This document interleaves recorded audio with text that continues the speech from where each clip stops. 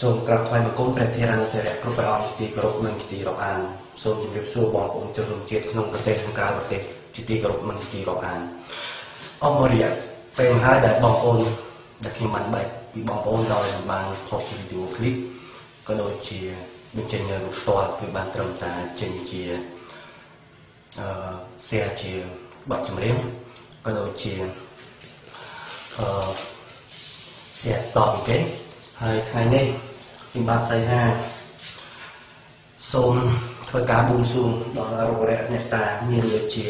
ព្រះបាទជ័យវរ្ម័នទី7ដែលថែរក្សានៅ បានកសាងនៅប្រាសាទអង្គរវត្តក៏ដូចជាស្ដេចកនដែលបានដេញនៅជនដែលក្បត់ជាតិនៅក្នុងប្រទេសកម្ពុជាព្រមទាំងបួងសួងដល់រករៈអ្នកតាថែរក្សាមាតុភូមិកម្ពុជាទាំងអស់សូមមកជួយដេញលោកហ៊ុនសែនចេញពីចុះចេញពីអំណាចដោយសវត្ថិភាព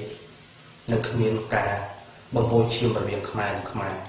ខ្ញុំបាទសូមអុជធូបចំនួន7សរសៃតំណាងឲ្យព្រះបាទជ័យវរ្ម័នទី7សូមខ្មែររួបរวมគ្នាសូមបងកងទ័ពជាកម្លាំងក្តាប់អាវុធសូមបងជួយតាមថែរក្សាកូនចៅខ្មែរសូមបងប្អូនកុំបង្ហូរឈាមរវាងខ្មែរនិងខ្មែរដើម្បីផលប្រយោជន៍ជូនខ្ញុំជាកូនចៅចៅទួតរបស់ព្រះអង្គសូមអុជធូបពួងសួង ដល់អរុវរណតាពុទ្ធស័ក្តិសិទ្ធិទាំងអស់នៅលើលោកដែលតាមថែរក្សាសូមដេញឲ្យអស់ពួកជនដែលក្បត់ជាតិដែលពុករលួយសូមឲ្យពុទ្ធស័ក្តិសិទ្ធិនៅក្នុងលោកតាមថែរក្សាអ្នកដែលស្នេហាជាតិអ្នកដែលស្រឡាញ់ជាតិអ្នកដែលស្មោះត្រង់នឹងជាតិ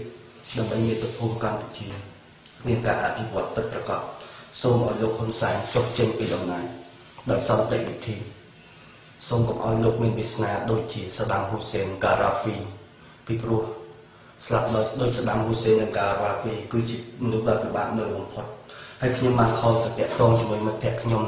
ដែលធ្វើការនៅអឺខេមរៈភូមិន្ទ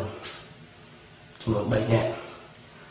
សង្ឃឹមថាមិត្តភក្តិរបស់ខ្ញុំនឹងជួយនឹងបងប្រុសចំនួន1របស់ខ្ញុំធ្វើការនៅអឺនគរបាលជាតិនិងមិត្តភ័ក្តិរបស់ខ្ញុំម្នាក់ទៀតធ្វើការនៅ កងរាជវត្ថុលើផ្ទៃប្រទេសសូមបងប្អូនក៏ដូចមិត្តភ័ក្តិដែលជាកងកម្លាំងប្រដាប់អាវុធសូមមេត្តាកុំបង្ហួចឈាមរវាងខ្មែរនិងខ្មែរពីខ្ញុំសេចក្ដីកូនខ្មែរសូមអរគុណសូមជម្រាបលា